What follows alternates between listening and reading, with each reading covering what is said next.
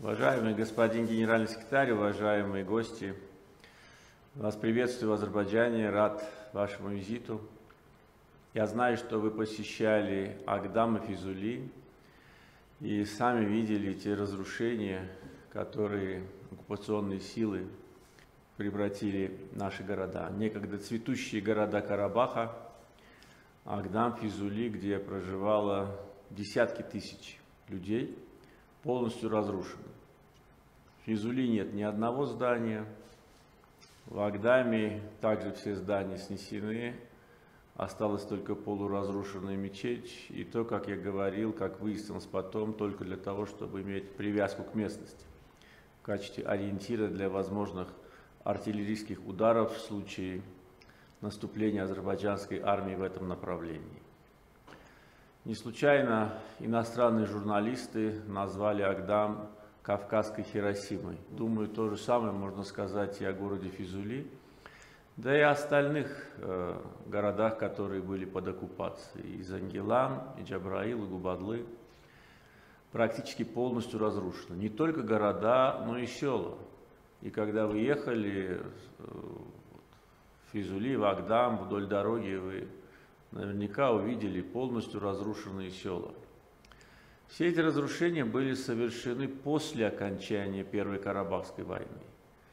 Именно для того, чтобы уничтожить следы азербайджанского культурного наследия на этих территориях. Также с тем, чтобы не допустить никогда возвращения азербайджанцев на эти территории, а также чисто э, для воровства, для разграбления, потому что сняты были оконные рамы, двери, крыши, все, что можно было унести, э, вандалы и воры унесли.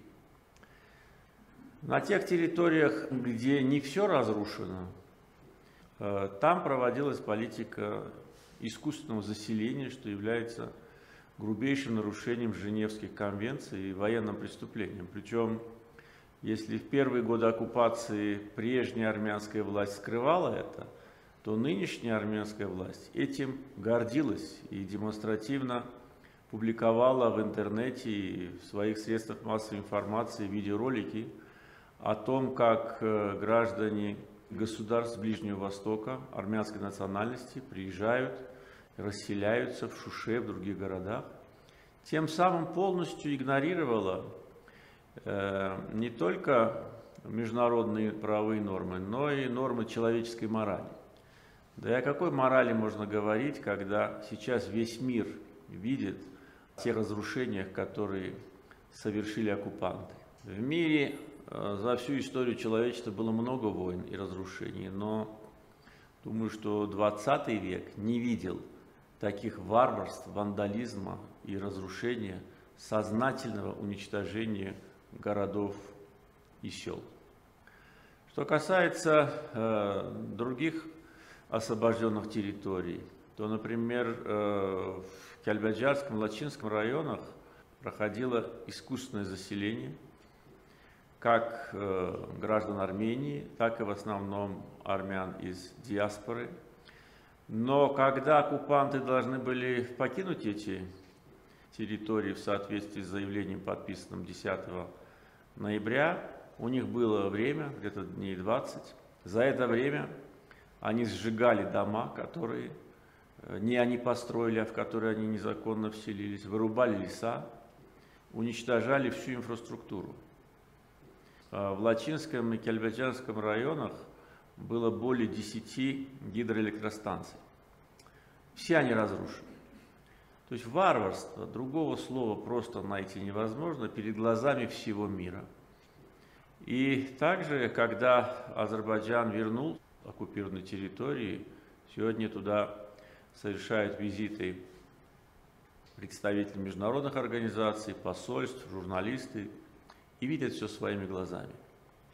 Это невиданный вандализм, варварство, как будто бы племя дикарей прошлось по этим территориям. Что касается города Шуши, то э, то, в каком он состоянии сейчас, не может никого оставить равнодушным, потому что это жемчужина Кавказа, уникальный, неповторимый город. Я думаю, не только в нашем регионе, но и в мире, полностью в запустенении. Э, мечети разрушены, э, памятники истории культуры также, мавзолей Вагифа разрушен, надгробная плита сломана, барельеф Вагифа сломан, бюст уничтожен, дворец Натаван разрушен, дом Бюльбюля практически в полуразрушенном состоянии, а дома Узера Гаджибейли уже нет, остались только стены. Это варварство, это культурный геноцид, и этому нет никакого оправдания. Война закончилась, Азербайджан одержал победу, но мы никогда не забудем этого и никогда не должны забыть. Поэтому по моему указанию, когда будут восстановлены все наши города и деревни, мы оставим в каждом городе, наверное, квартал или, может быть, большую территорию – такой, какой оставили оккупанты, с тем, чтобы никогда азербайджанский народ этого не забывал, и чтобы следующие поколения всегда помнили, что мы должны беречь свою землю и полагаться только на свои силы. Мы, конечно же, восстановим все разрушенное на оккупированных территориях. Процесс восстановления начался. Я думаю, что в ближайшее время первые шаги которые мы сделали, будут уже видны. Э, программа большого возвращения готовится. И думаю, в ближайшее время все мы увидим возрожденные города. Хотел бы выразить благодарность э, вам, уважаемый генеральный секретарь, также руководителю Тюрксоя за поддержку во время войны и после Неоднократно э, генеральный секретарь Тюркского совета э, выступал с заявлениями во время войны.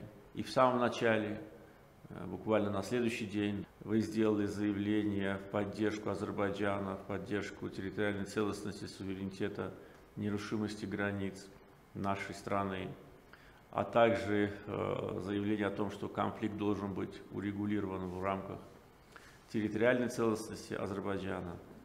Это был практически второй день войны. Э, в 20-х числах октября вы сделали заявление, осуждающее э, бомбардировку баллистическими ракетами города Гянджи и выразили соболезнования азербайджанскому народу. Также в конце октября вы выступили с заявлением о необходимости урегулирования конфликта в рамках резолюции Совета Безопасности ООН, а также Э, говорили о э, нарушении армянской стороной Женевских конвенций. Вы обратились ко мне с письмом, а в начале ноября, 2 числа, мы с вами в Баку встретились, и э, еще раз вы выразили поддержку Азербайджану. То есть в течение 44 дней четыре раза было сделано официальное заявление от имени генерального секретаря Э, Тюркского совета. Мы это очень высоко ценим, а также то, что вы э, сейчас находитесь в Азербайджане, что вы посетили освобожденные территории и увидели своими глазами то, о чем слышали, и то, что, наверное, частично видели по телевизору. Поэтому я хотел бы выразить вам благодарность от имени всего азербайджанского народа. Тюркский совет – это та организация, которая больше всех нас поддержала, во время войны. Мы также благодарны другим организациям и организации исламского сотрудничества и движению присоединения. Э, благодарны странам, которые поддержали нас э, в это время, потому что моральная и политическая поддержка в такое трудное время, конечно же, очень много значит для нашего народа и для того, чтобы э, весь мир – еще больше узнал правду о том, что происходило. Одним из результатов э, нашей победы стало то, что сегодня уже ни у кого нет сомнений о том, в чем была причина войны в начале 90-х годов, э, в чем были результаты оккупации, что оккупанты натворили на оккупированных территориях, Поэтому как международное право, как историческая справедливость принадлежности Карабаха Азербайджану, так и сегодня уже воочию увиденное международными средствами массовой информации, международными организациями, еще раз подтверждает нашу правоту, которую мы доказывали на протяжении 30 лет и в конечном итоге доказали силой оружия на поле боя, изгнав оккупантов с наших священных земель. Я еще раз выражаю вам глубокую благодарность.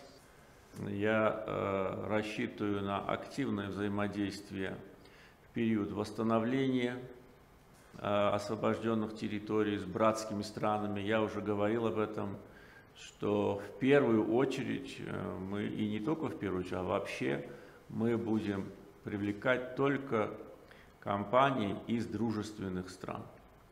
Таких в мире большинство, но среди них, конечно, есть страны, те, которые активно поддерживали Азербайджан в период войны и после. Поэтому думаю, что в рамках э, Тюркского совета, естественно, эта тема будет обсуждаться, и э, мы будем анализировать произошедшее и строить планы на будущее. Но уже с уверенностью могу сказать, что процесс восстановления территорий будет также поддержан нашими братскими странами. И, конечно же, рассчитываю на э, и уверен на активную поддержку Тюрксоя в восстановлении наших исторических культурных памятников. Потому что на освобожденных территориях было разрушено около 70 мечетей, разграблены музеи, Э, уничтожена вся э, значит, социальная инфраструктура. Но в Агдаме вы, наверное, видели оставшуюся стену драматического театра. Просто, видимо, устали разрушать. Да просто, наверное, сил не хватило дальше. Э, поэтому доведение до мировой общественности вот, варварств оккупационных сил – именно в плане разрушения нашего культурного исторического наследия, думаю, также будет в центре внимания Тюрксоя, ровно как и помощь нам в плане восстановления наших исторических культурных памятников. Этот процесс уже начался. Что касается Агдамской мечети, уже привлечены специалисты. Также после посещения Шуши несколько дней назад мною были даны указания для э, начала работы по восстановлению наших религиозных памятников. Э, активную роль в этом будет играть фонд Гейдара Алиева. Также даны инструкции по восстановлению э, мавзолея Вагифа. Э, я дал инструкции восстановить его в этом году. Мы э, планируем провести, э, восстановить Дни поэзии Вагифа в этом году – провести фестиваль Хары Бюльбюль в этом году. И э, не случайно мной Шуша была объявлена культурной столицей Азербайджана. Думаю, что Шуша после восстановления с ее природой, ландшафтом, историей, историческими памятниками может по праву стать культурной столицей всего региона. И, конечно же, рассчитываю, что следующий ваш визит вы посетите Шушу, Э, сейчас мы уже строим туда дорогу, и в ближайшее время в этом году будет открыт международный аэропорт, так что Шуша увидит еще много-много международных мероприятий, будет принимать своих друзей, братьев, как это было на протяжении всей истории. Еще раз выражаем благодарность, спасибо за поддержку и желаю вам всего самого доброго.